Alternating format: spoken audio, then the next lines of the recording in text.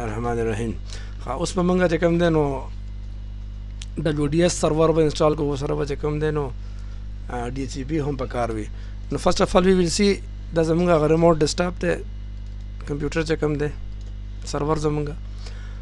کله زمونږ ډبلیو ډي اس انسټالو نو مونږ ته دوه آپشنز اویلیبل دي چې مونږ ډبلیو ډي اس انسټال کو نو سروس پیک 2 چې کوم وینډوز ده هغه کې ډبلیو ډي اس وي سروس پیک 1 چې کوم وینډوز دا هغه کې زموږ سره ار آی اس وي نو فرست سټپ څه ده چې زموږ سره پکار ده چې په سیستم کې ای ډي انسټال وي د کمپیوټر کې کوم وګورو نو زموږ سره الریډي ډومین جوړ دی او دا ډومین ټول چې کوم د موږ سره ټول اویلیبل دي تاسو که د سیستم پراپرټیز وګورئ نو دا سیستم خپل باندې د ډومین ممبر هم دی او ډومین کنټرولر هم دی د ډومین نوم دی gateway.com او د کمپیوټر نوم دی تی بلیک بل دین علاوه چې کوم د نوم سره په د کې ډي ان اس سرور هم پکار دی ولې چې کله یو پیکزي انیبل کلاینټ راشي هغه ته بیا د ډومین نیم چې ریزالف کیږي دا سیو سرویس هم پکار دی نو موږ سره په دې کمپیوټر کې ډي ان اس سرور چې کوم هغه هم انسټال لې او هغه کې پراپرلی چې کوم نو زونز کریټ دي دا زموږ سره فارورډ لوک اپ زون په دې کې کریټ شوی دی دې کې به زه یو مینول ریورس لک اپ زون هم کریټ کوم نیو زون پرایمري زون او دا به ای ډي آی زون کوم زو ډومین کنټرولر لپاره دلته نو چې کوم زما نتورک سبنیټ ده هغه به ډیفاین کوم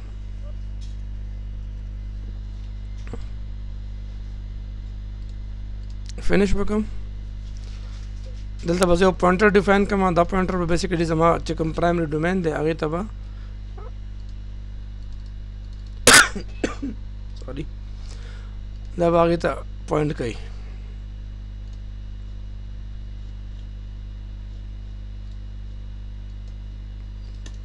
یو بل پوینټر به اډ کوم چې کوم پیرنټ ډومین ته پوینټ کوي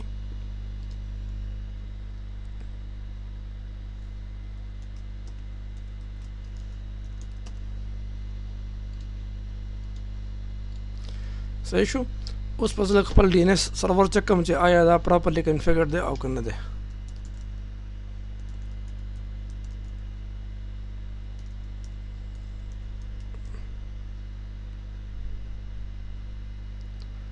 ان اس لوک اپ کې زما سره دلته کې څه پرابلم خوري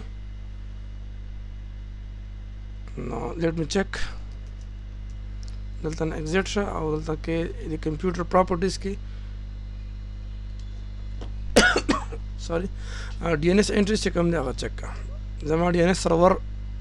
غلط دی دا به زه 100 کوم او دویم به ریموو کوم ماته دویم ضرورت نشته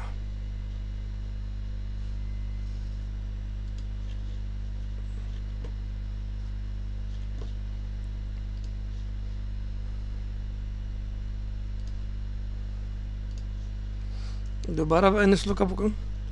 اوس چې کوم نه ریزالو شو د ډنګ ما ته ایرر نه غوښتل چې اوس زما ډي ان اس سرور چې کوم نه خو پراپرلی کنفیګر دی که زه ورته ګیفی ډاټ کام ورکم نو پکا ده چې دا ریزالو شي زالون کې سره لګه مسله بیا راکړل اټ مینز اگین سمثینګ از رانګ ان دا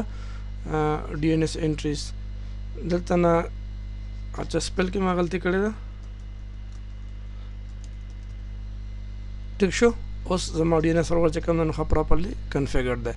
دا د ډي ان اس ایونت ویور ده ستاسو څومره ډي ان اس وارنینګز وغیرہ دي دلته کې تاسو ښکاری اني هو ما ته په الحال دا زه کلیر کوم چې ما ته نیکسټ کوم وارنینګ راځي چې ما ته آرام سره اکسیسیبل وي د ډي ان اس نه پس چې کوم ده ما سره ډي ایچ سي پی سرور چې کوم ده په دې کمپیوټر کې پکار ده چې وي زه به راشم او دلته نه به چې کوم دی نو ډي سي پي سرور به کنفیګر کوم ډاینامیک هوست کنفیګریشن پروتوکول ډي سي پي سرور چې کوم دی هغه په ډومین کې کمپیوټر ته اتوماتیکلی آی پی ایډریسز اساین کوي نو زه به دلته کې چې کوم دی په دې ډي ان اس کې به یو سکوپ کریټ کوم او هغه چې کوم دی نو اکټیویټ کوم زه به نیو سکوپ کریټ کوم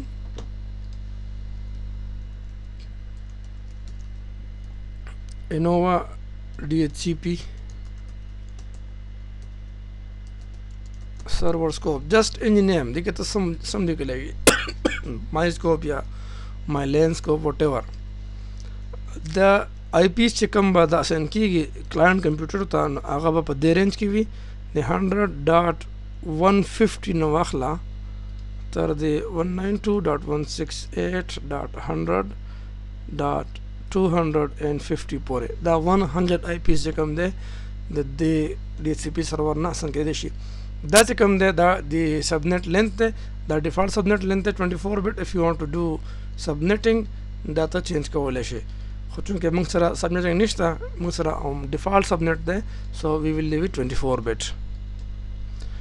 نو آی پی ایکسکلوژن لیست ټایم موږ سره چې کوم دی نو پکار دی 2 اورز yes i want to configure advanced options ما سره روټر باقاعده شته په دې نتورک کې زه به د خپل روټر آی پی اډرس ورکم دین علاوه ما سره ډي ان اس سرور هم دی د ګیټ وی ډاټ کام لپاره ګیټوی ډاټ کام د پاره او د هغه نوم هم چې کوم دی نو ګیټوی ډاټ کام دی دا ریزالو په چک کوم نو د سره بدلته کې دلته کې د دې آی پی براشي کرانا غلا نو سمثینګ از رانګ لیټ می چک د بلیک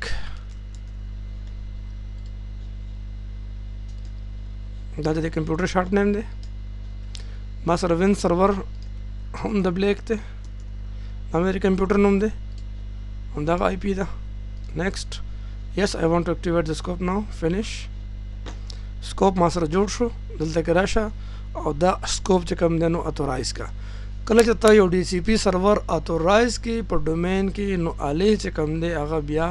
کلاینټ کمپیوټر ته آی پی اډرسز ورکول شي دلته کې دا بقاعده لیکل دی بده کې تاسو پړاو کې دا کنه سو یو ویل سی چې دته څنګه کې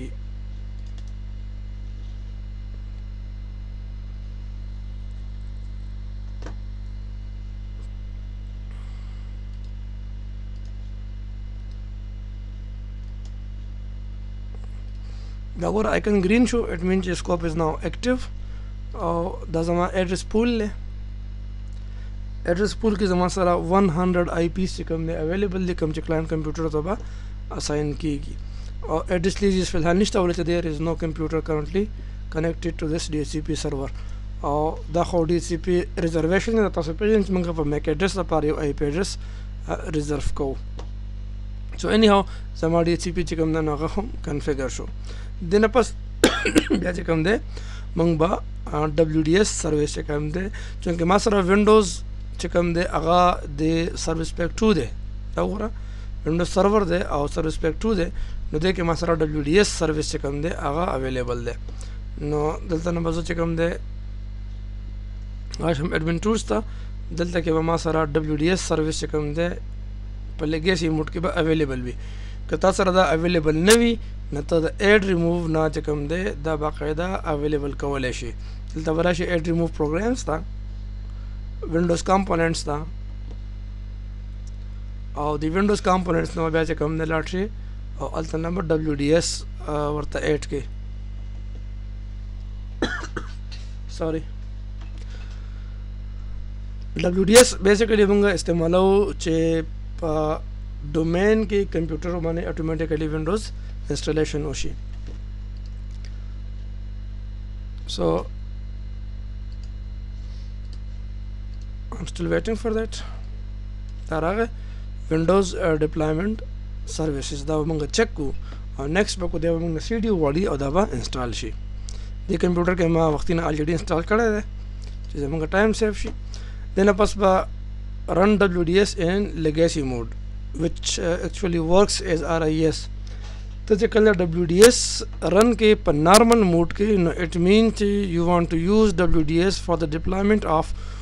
وینډوز ویسټا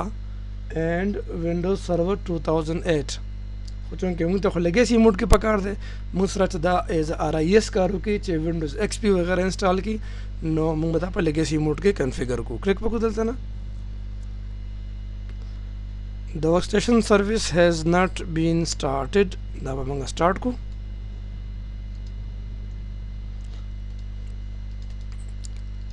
مې به تعالی به سټپ بای سټپ بازي بازي ایررز راځي خو ته به هغه ایرر هغه سرویس چې کوم دی غواړي هغه ورته بیا ان کې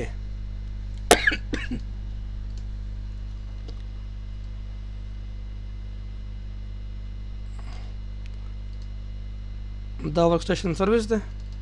دا کلیک کا دلته کا سټاپ ده دا ورته سٹارټ کا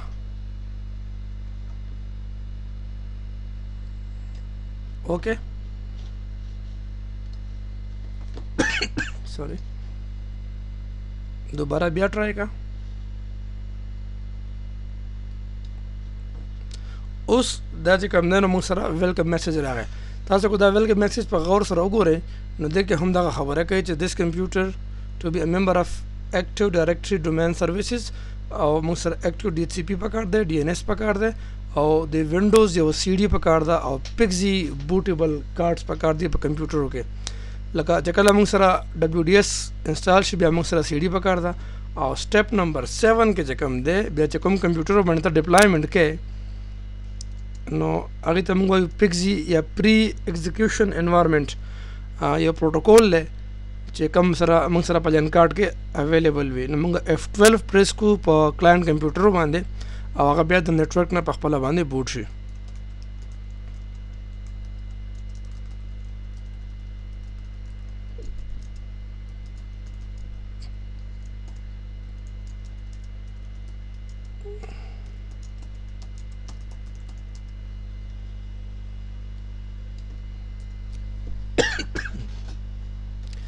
فکس انیبل ان کارډز موږ ته پکار دي کله موږ F12 پریس کو چې دا د نتورک نه بوټ شي او د نه پس بیا موږ سره سټپ نمبر 8 کې چې کوم دی نو د ډومین یوزر نیم او پاسورډ پکاري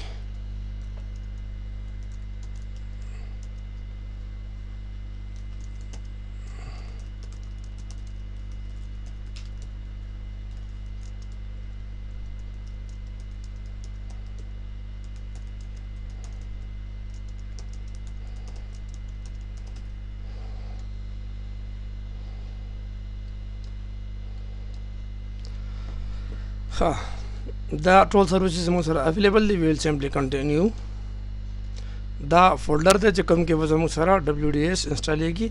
نو لیټ می چک دا فولډر ما سره بیسیکلی یو ان ډي ایف ایس ډرایو پکار دی ما سره په ډي ډرایو کې دا فولډر ما الریډي جوړ کړی دی نو زه ورته ډي ډرایو ورکوم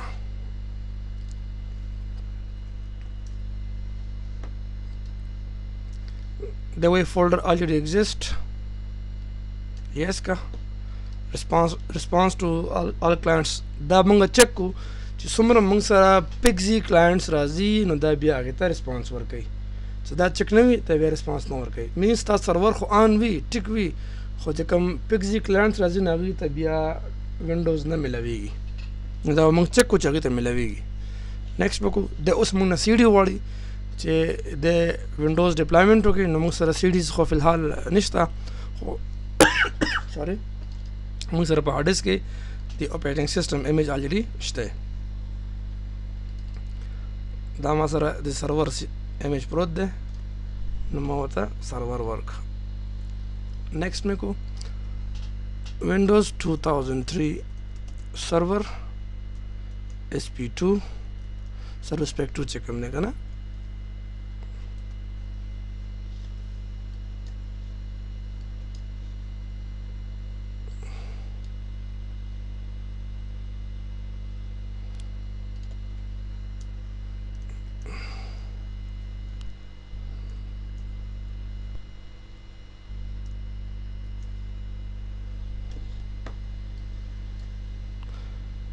دا د لینت چې کوم دی نو دا کمول غواړي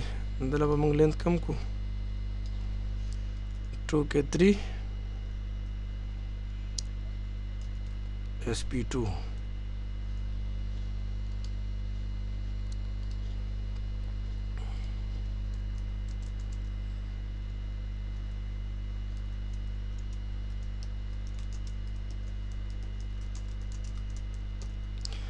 دا میسج چې کوم نه بیا خلک کلاین کمپیوټر وینډوز انسټالای دا بیا غته ښکاری